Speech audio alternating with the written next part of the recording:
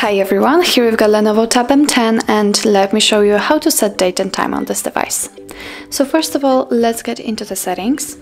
Then let's scroll down to the very bottom and choose system. And here we've got date and time, so let's tap on it. Now we are using network provided time and time zone, but if you want to set it manually, simply click here and let's tick off.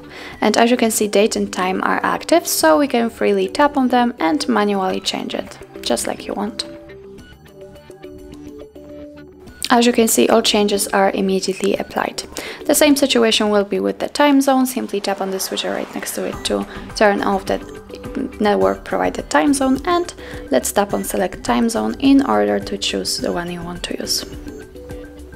Let's get back.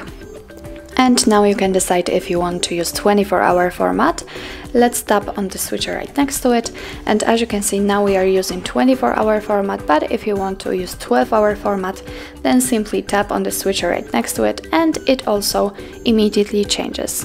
If you want to get back to all the previous settings then simply tap on the switchers. Let's use the time zone and click on automatic date and time to use network provided time. So that's all. This is how to change date and time in your Lenovo Tab M10.